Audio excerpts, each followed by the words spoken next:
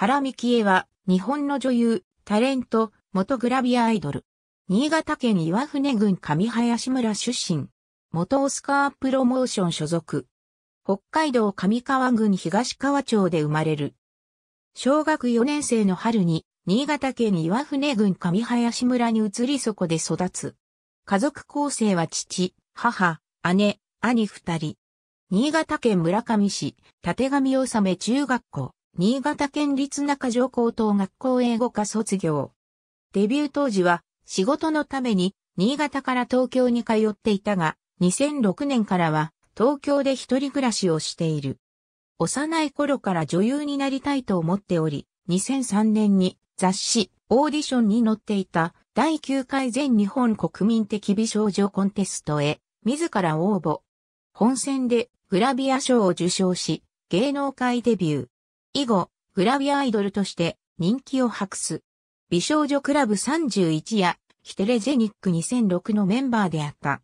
また、市川恵美、坂井英里、中島由衣、中村静香によって結成されたユニットティーンエイジクラブの一員でもある。現在チームは解散しているが、オスカープロモーションに所属する女性芸能人で構成される芸能人女子フットサルチーム表参道ビューティーの当時の選手であった。テレビ東京系のドラマ、キューティーハニーザライブでドラマ初出演で初主演を果たす。2009年にミュージカルシンデレラで初舞台。2012年の新潟県燕市を舞台にした映画、あの空の青では主人公の姉の田上直役を務めた。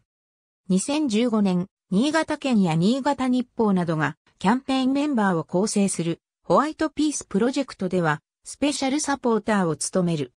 2017年8月8日に発売された写真集マイトレジャーをもってグラビアアイドルを卒業、仕事における水着姿等を永久封印した。